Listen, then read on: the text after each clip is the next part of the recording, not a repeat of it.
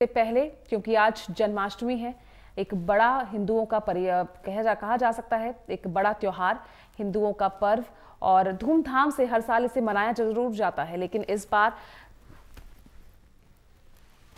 लेकिन इस बार थोड़ा सा जो माहौल है, बदला हुआ है, कोरोना की वजह से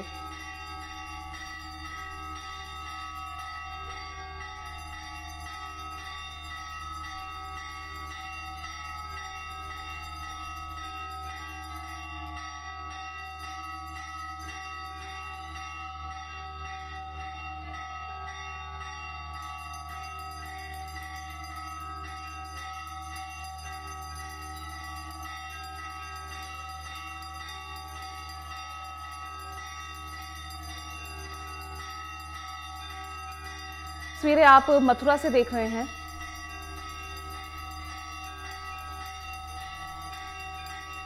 मथुरा में आप देख सकते हैं किस तरह से कान्हा को यहाँ पर उनका अभिषेक किया जा रहा है।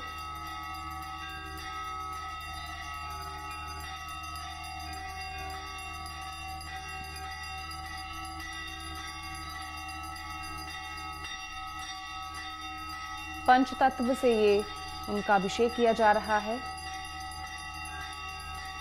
जिसमें जल, घी, शक्कर, दूध, ये तमाम चीज़ें शामिल की जाती हैं और इसी के साथ कान्हा के आगमन की तैयारी होती है। मथुरा की तस्वीरें आप देख रहे हैं।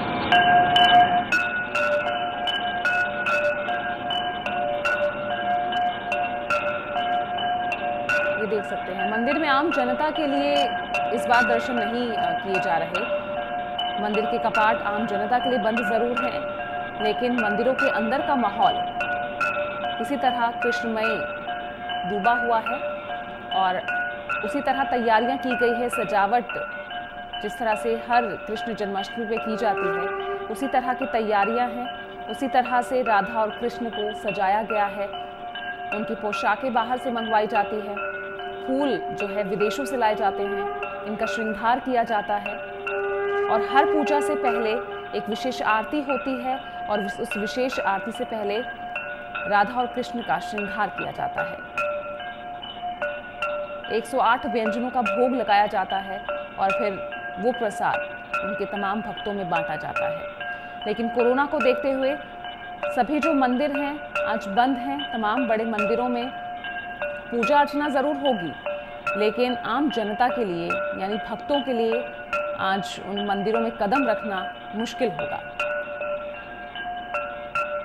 ये आप देख सकते हैं, फूलों से किस तरह से मंदिर को सजाया गया है। हर साल इसी तरह जो है तस्वीर नज़र आती है, लेकिन इस बार वो भक्त में माहौल कम दिख रहा है, क्योंकि लाखों लोगों की भीड़ यहाँ नहीं दिख रही है, जो श्री कृष्ण के नारे लगाते हुए, उनके दर्शन करते हुए निकलते हैं। ये तस्वीरें आप देख रहे हैं दिल्ली के एस्कॉन टेंपल की। एस्कॉन मंदिर की तस्वीर है।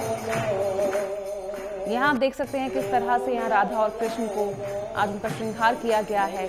नीले और पीले रंग की पोशाक उन्हें आज पहनाई गई है। फूलों से उनका दरबार सजाया गया है। ये सुबह की मंगल आरती की तस्वीरें आप देख रहे हैं, जो सुबह साढ़े चार बजे के आसपास की जाती है। और जो यहाँ मौजूद भक्त आप देख रहे हैं, ये वो लोग हैं जो स्पेशल पास के ज़रिए अंदर जा सके। केवल 300 लोगों को ही यहाँ एंट्री करने की इजाज़त दी गई थी। और आज दिन भर जो प्रोग्राम आज रहेगा, अगर दिल्ली के एस्कॉन टेंपल की बात करते हैं, क्योंकि हर साल राज्य के मुख्यमंत्री, पुलिस कमिश्नर यहाँ पहुँचते हैं दर्शन करने के लिए तो इसी तरह का प्रोग्राम आज पूरे दिन भर रहेगा।